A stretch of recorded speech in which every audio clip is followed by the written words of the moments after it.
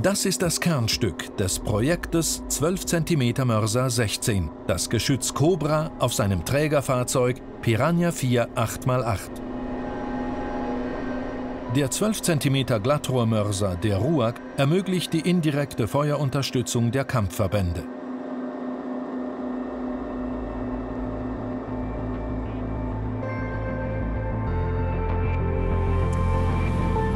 Sein Trägerfahrzeug, der Piranha 4 8x8, zeichnet sich trotz hoher Autonomie und hohem Schutzgrad durch seine große Geländefähigkeit und Mobilität aus. Mit einer Tankfüllung kommt der Piranha 4 8x8 bis zu 600 Kilometer weit und kann mit einer Munitionsautonomie von 30 Schuss mehrere Feuerschläge ausführen. Dank seines Sechszylinder-Reihenmotors mit Direkteinspritzung, Turbolader und Ladeluftkühlung ist er nicht nur schnell, sondern auch überaus geländegängig. Steigungen bis zu 60 Prozent und Querneigungen bis zu 30 Prozent sind für den Piranha 4 8x8 keine unüberwindbaren Hindernisse. Genauso wenig wie anderthalb Meter tiefes Wasser oder Schlamm.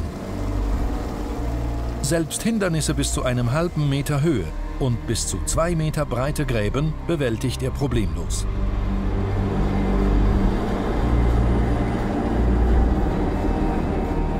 Der 12 cm Mörser 16 hat einen hohen Automatisierungsgrad. Er bestimmt aus den vorgegebenen Zielkoordinaten automatisch und selbstständig Ladung, Azimut und Elevation und richtet das Rohr direkt aus.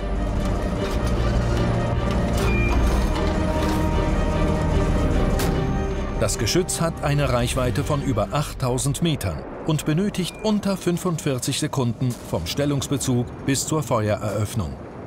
Seine Schusskadenz liegt bei rund 9 Schuss pro Minute. Zum Selbstschutz ist auf dem Piranha 4 8x8 auch eine Waffenstation installiert.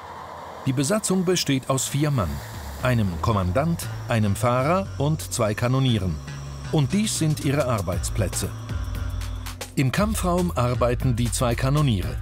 Neben dem 12 cm Mörser sind die großen Munitionsracks für Wurf- und Beleuchtungsgranaten sowie Nebelgeschosse montiert.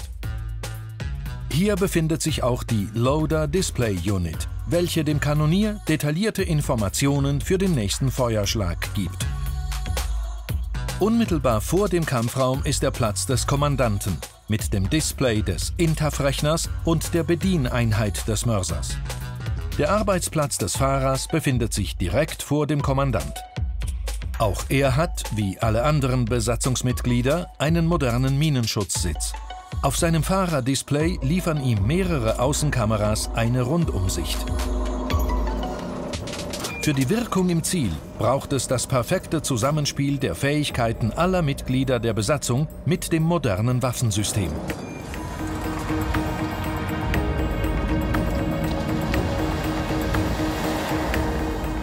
Der 12 cm Mörser 16, ein wichtiges Waffensystem für die direkte Feuerunterstützung der Kampfbataillone.